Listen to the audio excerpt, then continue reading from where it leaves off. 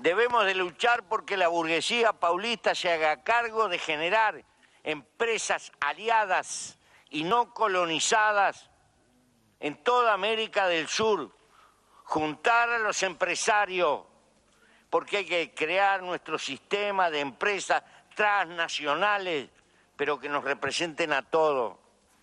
Debemos de luchar por juntar las universidades. Falta el Mercosur de las universidades públicas.